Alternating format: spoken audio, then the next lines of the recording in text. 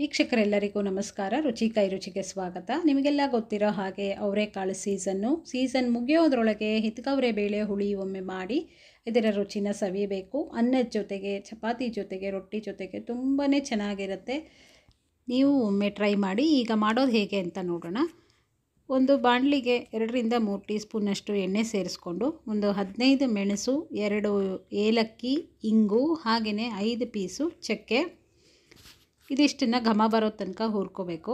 ನಂತರ ಇದ್ರ ಜೊತೆಗೇ ಎರಡು ಟೇಬಲ್ ಸ್ಪೂನಷ್ಟು ಕಡಲೆಬೇಳೆ, ಅದು ಸ್ವಲ್ಪ ಆಗ್ತಿದ್ದಂಗೆ ಎರಡು ಟೇಬಲ್ ಸ್ಪೂನಷ್ಟು ಉದ್ದಿನಬೇಳೆ, ಇದು ಗೋಲ್ಡನ್ ಬ್ರೌನ್ ಆಗೋ ತನಕ ಹುರ್ಕೋಬೇಕು. ನಂತರ ಎರಡೂವರೆ ಟೇಬಲ್ ಸ್ಪೂನಿಂದ ಮೂರು ಟೇಬಲ್ ಸ್ಪೂನಷ್ಟು ಧನಿಯಾ ಒನ್ ಟೇಬಲ್ ಸ್ಪೂನಷ್ಟು ಜೀರಿಗೆ, ನಂತರ ಒಣಮೆಣಸಿನ್ಕಾಯಿ, ಬ್ಯಾಡಗಿ ಮತ್ತು ಗುಂಟೂರು.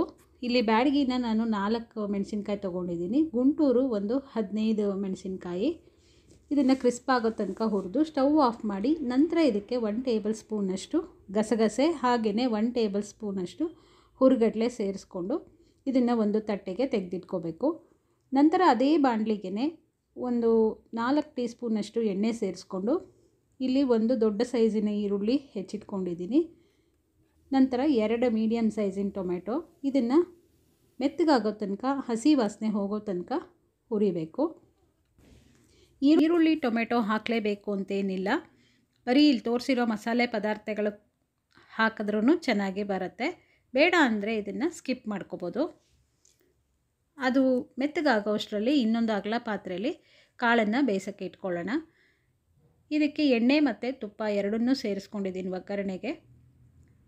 ಸಾಸಿವೆ, ಇಂಗು, ಕರಿಬೇವು ಹಾಕಿ ಒಗ್ಗರಣೆ ಮಾಡಿಕೊಂಡು ಇದ್ರ ಜೊತೆ ಕಾಳನ್ನು ಸೇರಿಸಿ ಚಿಟಿಕೆ ಅರಶಿನ ಸೇರಿಸ್ಕೊಂಡು ಒಂದು ಎರಡು ನಿಮಿಷ ರೋಸ್ಟ್ ಮಾಡಿಕೊಂಡು ನಂತರ ಇದಕ್ಕೆ ಇದು ಮುಳುಗೋವಷ್ಟು ನೀರು ಸೇರಿಸ್ಕೊಂಡು ಬೇಯಕ್ಕೆ ಇಟ್ಕೊಳ್ಬೇಕು.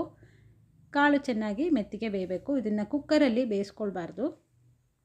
ಈಗ ಈರುಳ್ಳಿ, ಟೊಮೆಟೊ ಜೊತೆ ಒಂದು ಅರ್ಧ ಕಪ್ಪಷ್ಟು ಹಸಿ ಕಾಯಿ ತುರಿನ ಸೇರಿಸ್ಕೋಬೇಕು.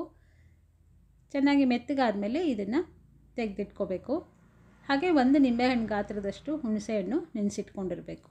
ಇಲ್ಲಿ ನಾನು ಒಣಕೊಬ್ಬರಿ ಕೂಡ ಸ್ವಲ್ಪ ಸೇರಿಸ್ಕೊಳ್ತಾ ಇದ್ದೀನಿ. ಫಸ್ಟು ಅದನ್ನು ಗ್ರೈಂಡ್ ಮಾಡ್ಕೋಬೇಕು. ಒಣಕೊಬ್ಬರಿ ಹಾಗೆಯೇ ಹುರಿದಿಟ್ಕೊಂಡಿರೋ ಮಸಾಲೆ ಪದಾರ್ಥ. ಅದು ಪುಡಿ ಮಾಡ್ಕೊಂಡ್ಮೇಲೆ ಅದರ ಜೊತೆ ಈರುಳ್ಳಿ, ಟೊಮೆಟೊ, ಹಾಗೆ ಸ್ವಲ್ಪ ಕೊತ್ತಂಬರಿ ಸೊಪ್ಪು ಸೇರಿಸ್ಕೊಂಡು ನೀರು ಸೇರಿಸಿ ಗ್ರೈಂಡ್ ಮಾಡ್ಕೋಬೇಕು. ನಂತರ ಕಾಳು ಬೆಂದಿದೆಯಾ ಅಂತ ನೋಡಿ, ಅದು ಮೆತ್ತಗೆ ಬೆಂದ ಮೇಲೆ ಇದಕ್ಕೆ ರುಚಿಗೆ ತಕ್ಕಷ್ಟು ಉಪ್ಪು ಹಾಗೆಯೇ ಬೆಲ್ಲ, ಹುಣಸೆ ರಸ ನಂತರ ರುಬ್ಬಿಟ್ಕೊಂಡಿರೋ ಮಸಾಲೆನ ಈ ಬೆಂದಿರೋ ಕಾಳಿಗೆ ಸೇರಿಸಿ ಚೆನ್ನಾಗಿ ಮಿಕ್ಸ್ ಮಾಡಿ ಇದನ್ನು ಕುದಿಸಿದ್ರೆ ಹಿತ್ಕವ್ರೆ ಬೇಳೆ, ಮೇಲೋಗರ ಅಥವಾ ಹಿತ್ಕವ್ರೆ ಬೇಳೆ ಹುಳಿ ತಿನ್ನಲು ಸಿದ್ಧ. ಚಪಾತಿ ಜೊತೆ, ಅನ್ನದ ಜೊತೆ. ನೀವು ಒಮ್ಮೆ ಟ್ರೈ ಮಾಡಿ ಹೇಗಿತ್ತು ಅಂತ ಕಮೆಂಟ್ನಲ್ಲಿ ತಿಳಿಸಿ. ಹೆಚ್ಚಿನ ವೀಡಿಯೋಗಳಿಗೆ ನಮ್ಮ ಚಾನಲ್ ಸಬ್ಸ್ಕ್ರೈಬ್ ಆಗೋದು ಮರಿಬೇಡಿ. ಧನ್ಯವಾದಗಳು.